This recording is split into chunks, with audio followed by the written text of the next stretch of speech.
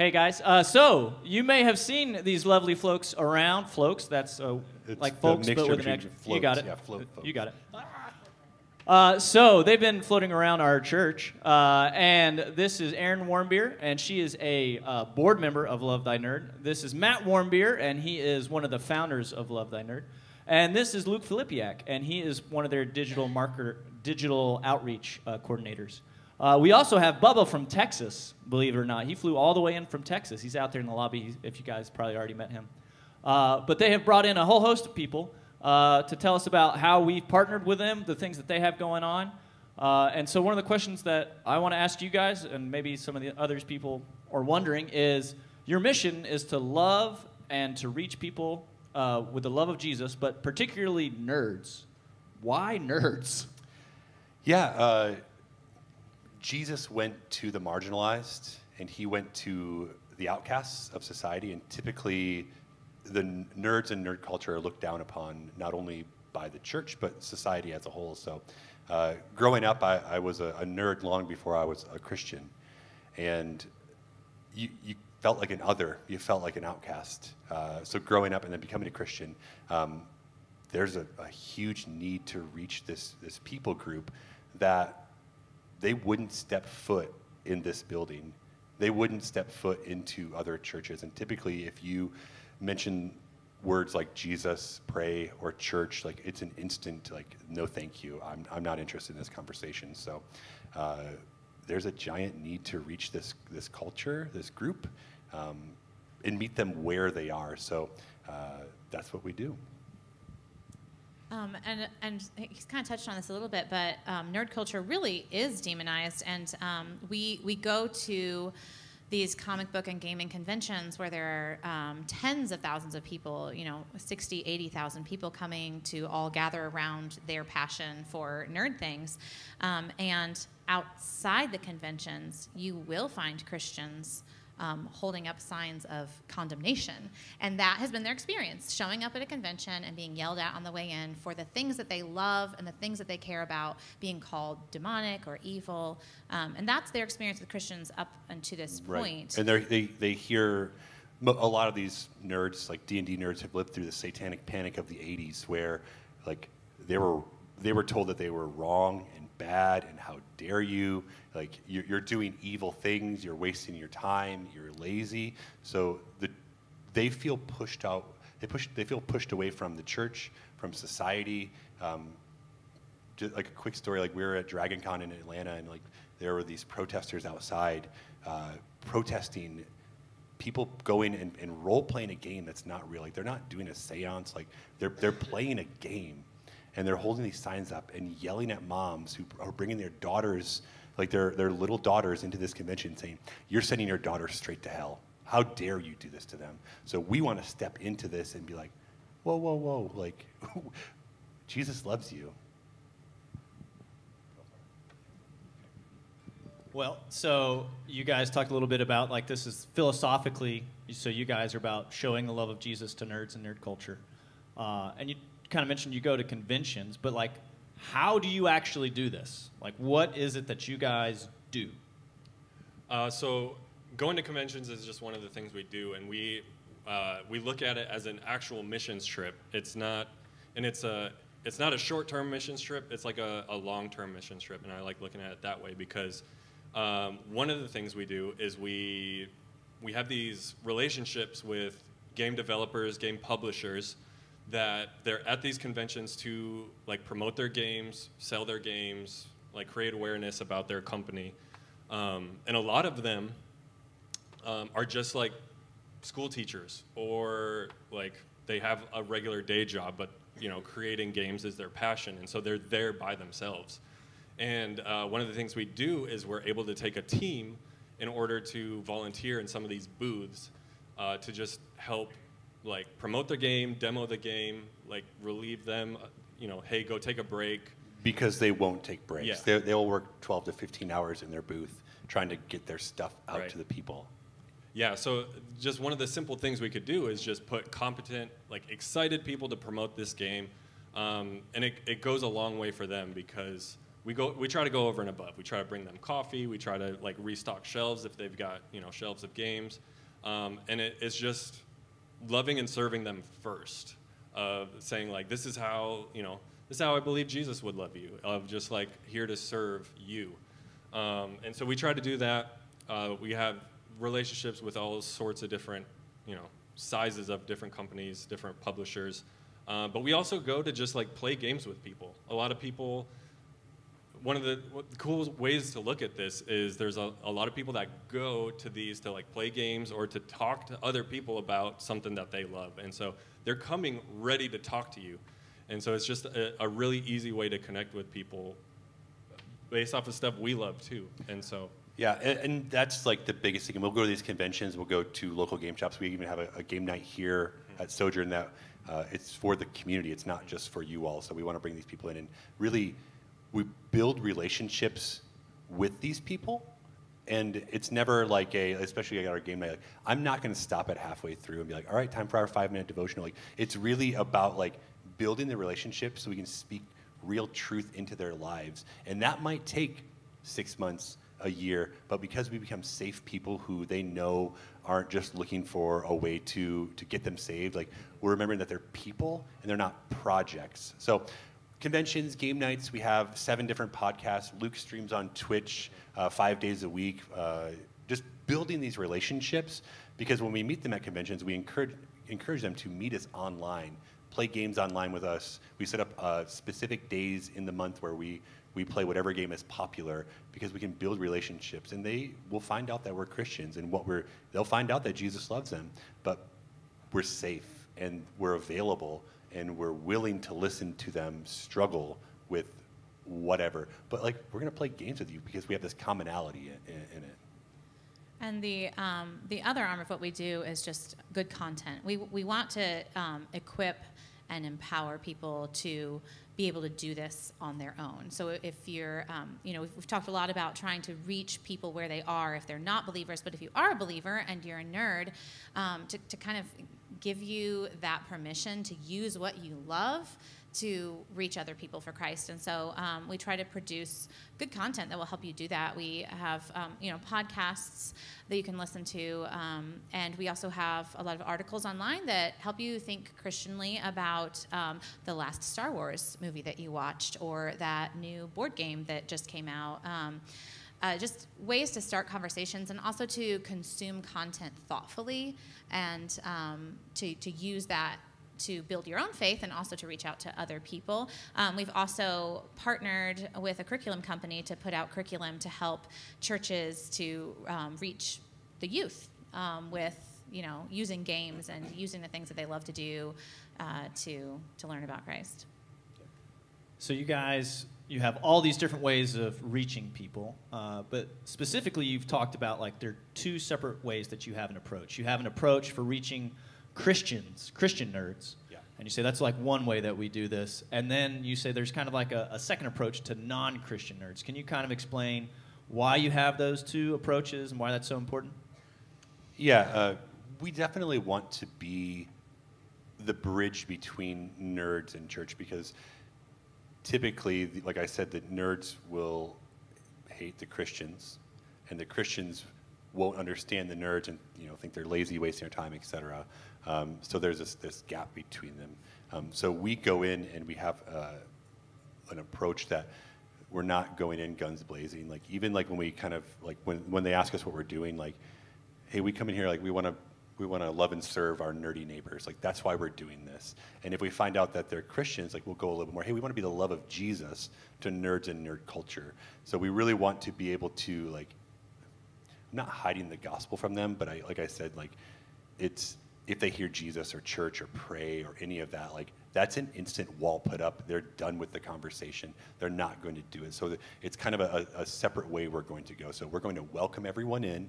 Our communities are, are, are open for, for Christians and they're open for non Christians. And we're making it a safe space for both of those groups. So if you are a Christian, we're going to ask you not to post prayer requests on the main page. We're going to ask you not to post your Christian memes because what that's going to do is these non-Christians that are coming in, that's an instant no thank you. I don't want any any part of that at all. So we make it a space where hey, we're nerds we can embrace nerd culture, movies, comics, games, whatever it is, and that's our commonality. And that's when real relationships can happen. So we can we can teach the Christians how to love these nerds better, and we can teach these nerds that not all Christians think that they're worthless, wasting your time, whatever.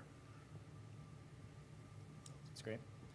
Uh, one of the things that we talked about previously was this idea that when you think of nerd, like the kind of cultural context around that is generally it's a guy, generally they're lazy and they're not kind of like maybe detached from reality and they're childish. That's why they're playing these games or video games.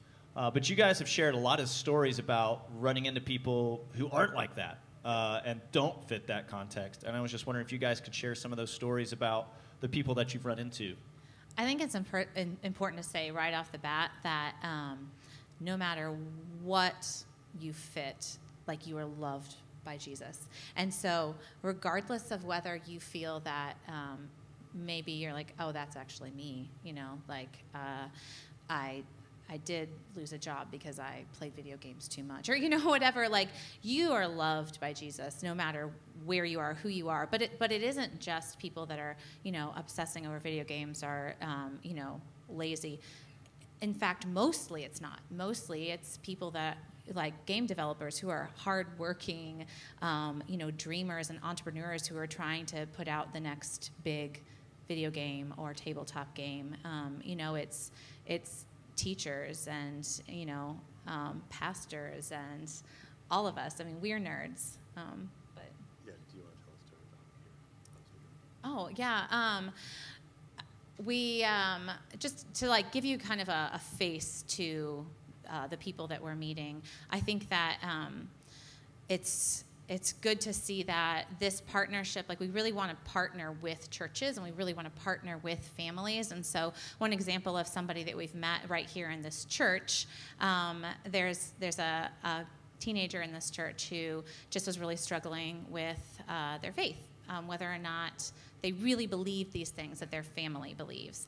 Um, and I think where the partnership comes in, like he's got some great parents, some awesome parents that are willing to say, like, ask those questions. Those questions are good, and um, you know, don't shy away from your questions. Um, he's got a youth group that took him under his wing and said, ask those questions. Don't shy away from those questions. And he's a part of Love Thy Nerd, and he jumped in our online Discord and he started asking those questions. And he hooked up with Luke, and he hooked up with our community moder- moderator Tierney, and he asked those questions, and he found that it was a safe place to not believe. It was a safe place to have some Um, and at home and at church and in LTN. And through that partnership all together, he told his mom just recently, um, I believe Jesus is Lord. You know, I've had my questions answered. And uh, so, like, that I think really speaks to what we want. Like, we want if you don't have parents that are supporting you, we want to support you. If you don't have a church that is supporting you, we want to support you.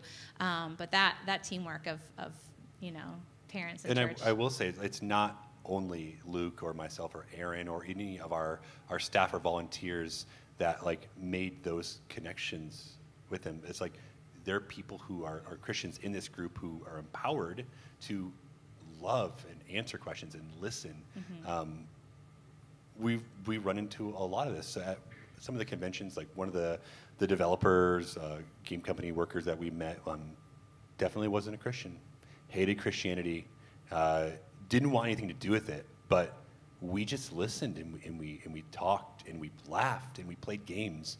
And time went by and she's like hey my wife's going to be at this convention. Like let's go to dinner. What, and like trusting us that she knows our hearts. She knows that we're christians but trusting us like with her family.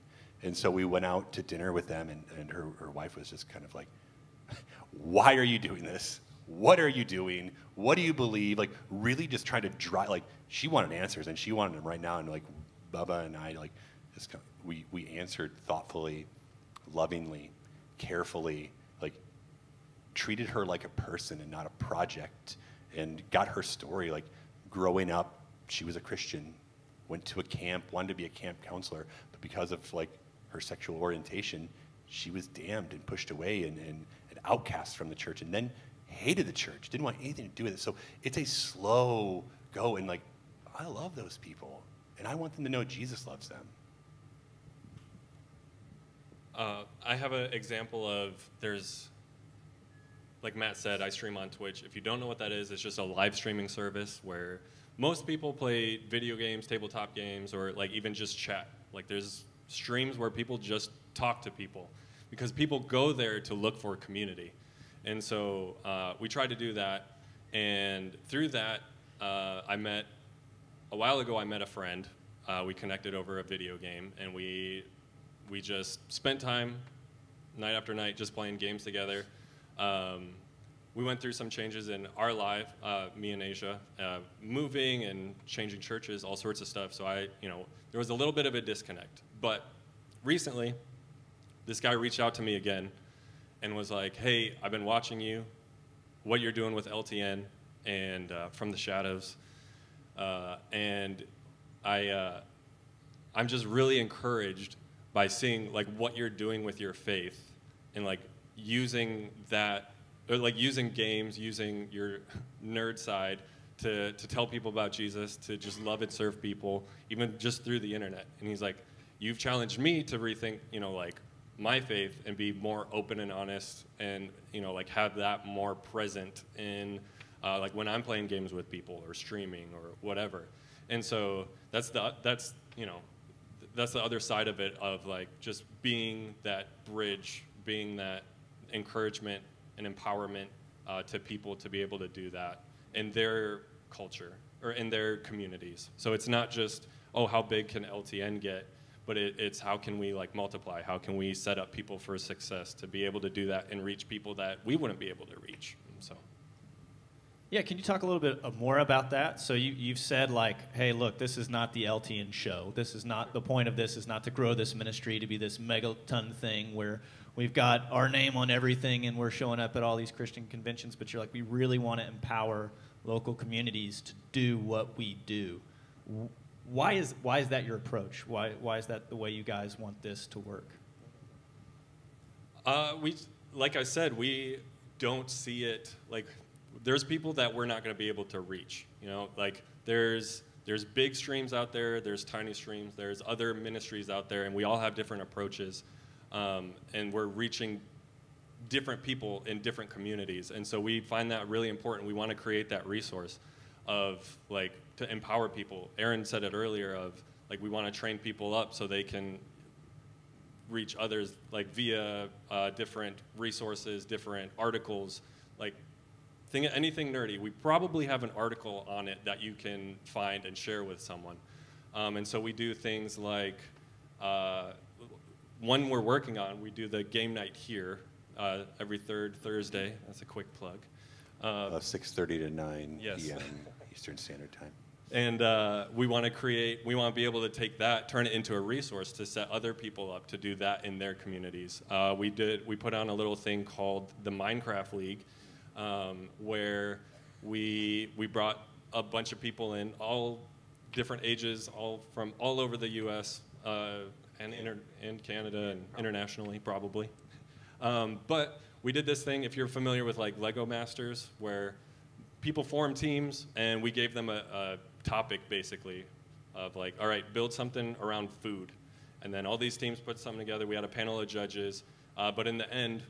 Um, you know, there was a clear winner. We did all this stuff to just bring together community. But then not only did we put on that event, but we created a, a, free resource for people to do that in order to reach people in their community. Yeah, we pack it up and let them use what we've created. And honestly, like that's one of the stories we didn't mention is that Minecraft League bringing people we met, a woman we met at a convention who was going through a hard time, a, a very hard time that we just sat, loved, ran her booth for for a while, like first time game developer. Um, she had her kids enter the Minecraft League, and they ended up winning. And now she's like this, this a big proponent and advocate for Love Thy Nerd. Not a Christian. Definitely hated Christians early on. Now, because of this relationship, she's more willing to listen, to accept, and to know that, hey, actually, like, Christians aren't that bad. They, they, they I know some good ones. Well, so you guys have a lot going on. You've got a lot of stuff going on, streaming, conventions locally. Uh, if people here at Sojourn wanted to join you guys and be a part of what you're doing, what's the easiest way? What, how can we join in with you guys? I mean, the easiest way is just to participate in what we're doing on social media. You, probably most of you are already on social media. Um, it, I mean, that's that's why YouTubers are always saying, you know, smash that, like and subscribe, um, because it's true. It really helps us to get the word out to people that we wouldn't be able to reach otherwise. If you're liking what we're doing, if you're following what we're doing, if you share what we're doing, it really does help us.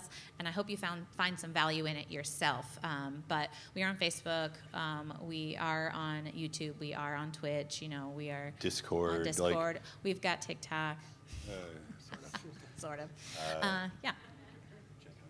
Uh, some of these other things that we were talking about, like different conventions, like we, we take mission trips, and you're able, if you have any like remote interest in it, like we take teams. We need people to volunteer in some of these booths. Um, so the next one coming up is Gen Con. It's in Indianapolis in uh, August. Um, we got people signing up for that, so if you're interested, you can come talk to I, I one will of say us. there is a like we say volunteer. There's a cost because we need to be able to, you know, uh, eat and have a place to stay and badges and things like that. So yeah, if you want to know more about that, you can talk to us out there. Um, we'd love for you to join us. But also this October in this very church, we're doing a thing called LTNCon where we're going to bring speakers uh, in here, breakout speakers, uh, just to teach you all how to love and serve nerds better. Uh, and if you have any interest, I'd love for you to be here. It's October 14th to 16th. Uh, we'll have gaming in the evenings where you can build those relationships. We'll have speakers and breakout speakers during the day. We'll have some of our relationships we've built with these game developers. They'll have booths here, like so you can meet these people that we we've grown to love and to to show them love. So, uh, and also like uh, there are there are six staff members right now. Uh, most of us are doing full-time work at part-time pay. So uh, we raise support. Like if that's something you want to be a part of, let us know. We'd love for you to partner with us. Also, we, uh, if you just want to keep up with what we're doing and, uh, and pray for us, we also have a monthly newsletter that goes out. Um, I think you could just go to Well, lovethynerd.com slash well, you can sign up in or the- yeah, lobby there is up an so. iPad out there that you Yeah. could sign up, or just talk to one of us and we'll get you set up. All right. Well, guys, thanks so much for being here. Appreciate you guys sharing with us, and thanks for all the work that y'all do. So, give them up. Give it up.